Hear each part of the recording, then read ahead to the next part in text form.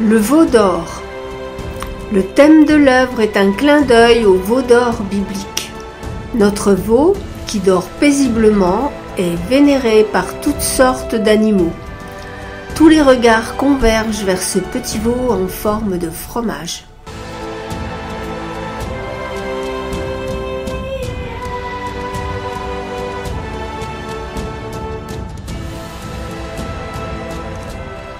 Les yeux dans les nœuds. Cette œuvre reprend les thèmes de la montagne. Elle met en valeur l'animal emblématique de notre région, sur fond de chêne des Arabies.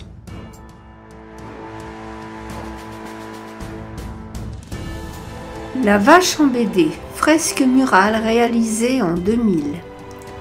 Pas toujours facile de descendre des escaliers quand on est une vache. Heureusement, leur auteur les a chaussés de crampons.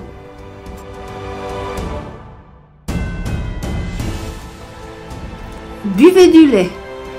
Cette fresque pleine de vitalité et d'énergie a été réalisée par l'artiste Miko Well.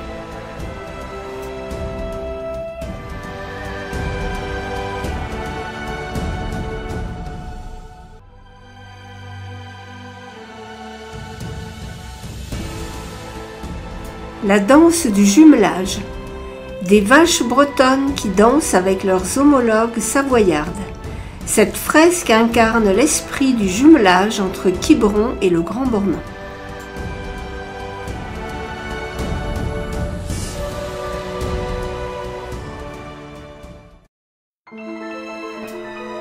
Le ruminum. Mi-homme, mi-taureau, le ruminum symbolise la rencontre entre l'homme et la bête sur fond d'ambiance de salle de jeu clandestine et gros bras.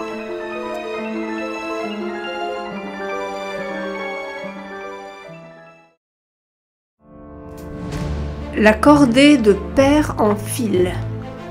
Une cordée d'alpinistes en route vers le sommet. Voici le symbole de la vie dans nos montagnes. On redescend ensuite progressivement vers l'atelier des vaches cordonniers qui réparent et façonnent les semelles des chaussures de cuir utilisées par les montagnards.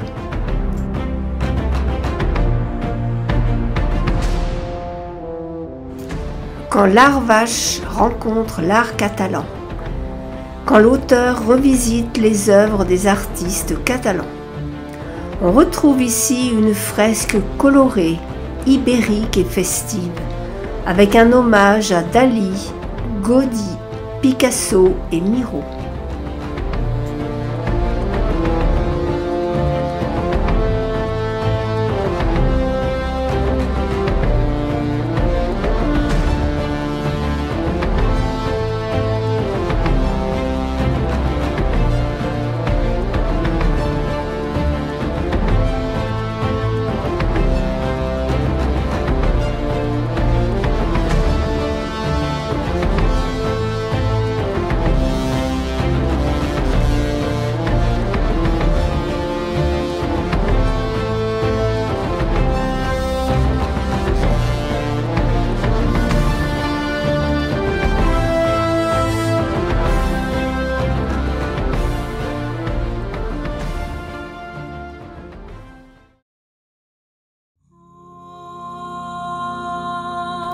Histoire de l'art vache. Cette fresque retrace l'histoire de l'art vache, avec le détournement d'œuvres emblématiques de peintres célèbres.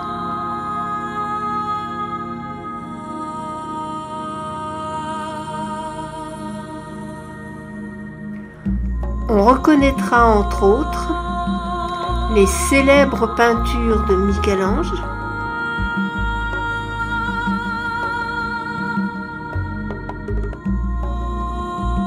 La laitière de Vermeer,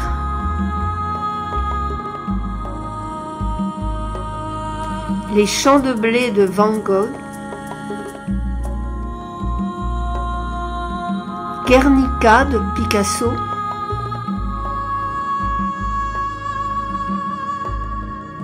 ou encore les portraits bien connus d'Andy Warhol avec pour modèle une star vache tout sourire.